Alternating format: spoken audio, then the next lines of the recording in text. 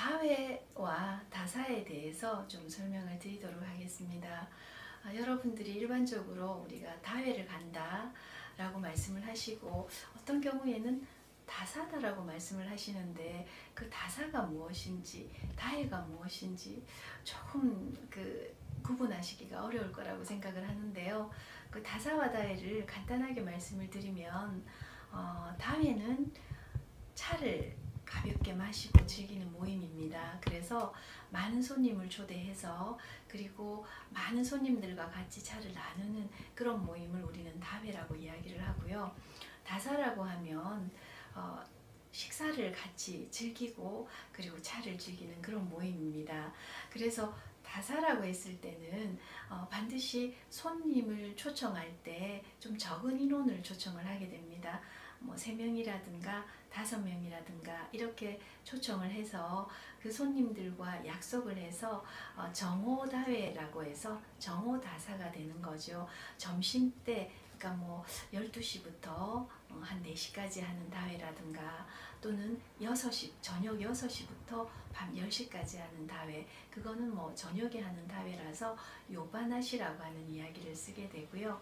그리고 또 아침에 일찍 하는 또 다회가 있습니다. 그래서 그런 어떤 다회나 다사들의 종류가 여러 개가 있는데요. 그 중에서 어, 다사라고 하는 걸 조금 말씀을 드리면 뭐 일본어로는 자지라고 이야기를 합니다. 그래서 다사를 할 때는 어, 주로 어떻게 진행을 하냐면 주인이 손님을 초대를 할 때 그냥 어, 오세요라고 초대하는 것이 아니라 사전에 그 주인이 손님에게 먼저 이야기를 합니다. 모월 모일에 당신을 초대하고 싶은데 그날 오실 수가 있는지요? 라고 물어봅니다. 그러면 그 손님은 어, 본인이 올 수 있는지 그리고 오지 못할지에 대해서 정확하게 말을 해줘야 됩니다.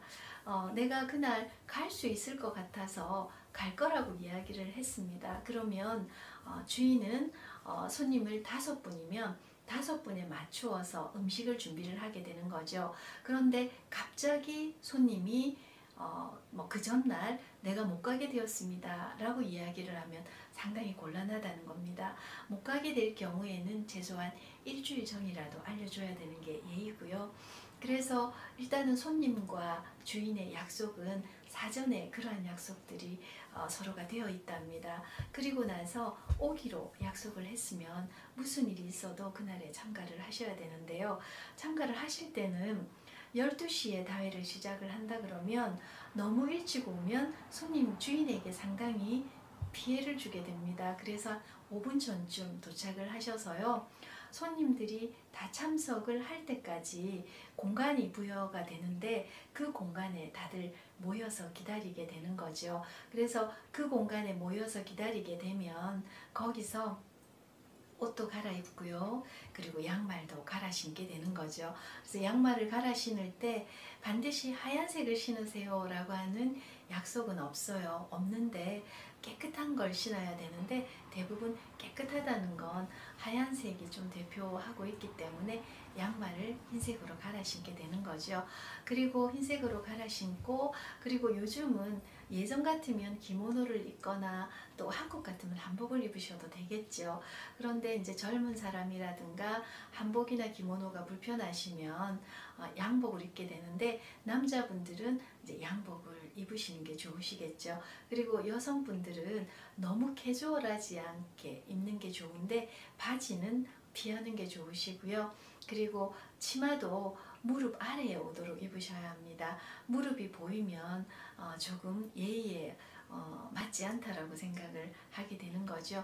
그렇게 해서 그날의 어, 자리에 맞도록 양말도 갈아 신고 옷도 다시 단정하게 하고 그리고 나서 어, 손님들이 다 모이게 되면 모두들 음, 이제 앉아서 어, 그 주인이 가져다 주는 주인이 직접 나오진 않습니다. 한또라고 해서 보조 역할을 하시는 분들이 어, 그 잔을 들고 옵니다. 그래서 그 손님이 다섯 분을 초대했으면 다섯 분이 드실 수 있도록 각각 이제 가볍게 드실 수 있는 잔에 어, 약간 어, 강하지 않은 맛이 나는 음료를 가지고 오게 되는 거죠. 그래서 그 음료를 한 잔씩 마시고 그리고 나서 어, 고시각계 마치아이라고 해서 바깥쪽에 이렇게 의자가 놓여져 있어요. 그리고 위에 차양이 드리워져 있는 그런 공간인데 그 의자에 나란히 앉게 됩니다. 나란히 앉아서 기다리게 되면 어, 주인이 손님을 맞이하러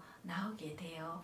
그거를 일본에서는 찍기라고 이야기를 하는데 그때 손님과 주인은 서로 인사를 하게 되는데요. 그때는 말을 하지 않습니다. 안녕하세요 라고 하는 말을 하지 않는다는 거죠. 그냥 가볍게 눈으로 인사를 하게 됩니다.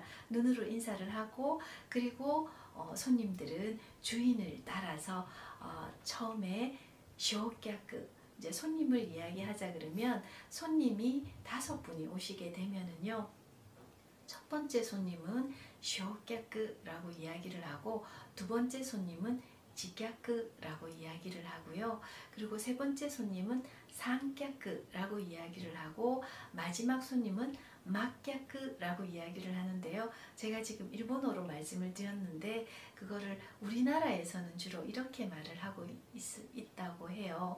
어, 한자 그대로 상객이라 그래서 첫 번째 손님 그리고 차객이라고 해서 두 번째 손님 그리고 어, 삼객이라 그래서 세 번째 손님 그리고 말객이라고 해서 마지막 손님이라고 어, 한국에서는 그렇게 지칭을 하고 있습니다. 그래서 첫 번째 손님, 두 번째 손님, 세 번째 손님, 그리고 마지막 손님 이렇게 해서 이제 순서대로 어, 차의 그 주인이 이끌어주는 대로 따라 들어가게 되는 거죠. 그리고 들어가서 쯔꾸바이라고 하는 곳이 있답니다. 그 쯔꾸바이라고 하는 곳에 앉아서 이제 손을 헹구게 되는데요.